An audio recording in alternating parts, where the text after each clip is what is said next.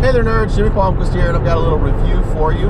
I am caught up on Huck over at Image Comics by Mark Millar and Rafael Albuquerque on art.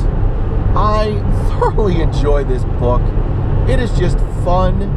It's a good guy being good. And by good, I mean he's just a nice, simple guy that sees people are in need and he does the right thing. There's no question about it.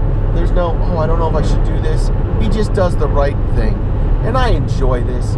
And it's so interesting to see how jaded the world is around him and around us, and that politicians are basically calling, well, not basically, they do, they call him a retard and not understanding because they feel like he's so simple minded. Why is he simple minded? Because he's doing the right thing, he's helping people.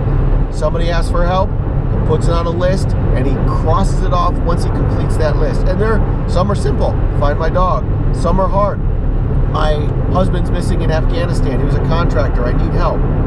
He finds him. Amazing. Just so awesome. And you get to book three and you're like, well, where is this going? I, I don't know if we can do a hundred issues of this guy just being good.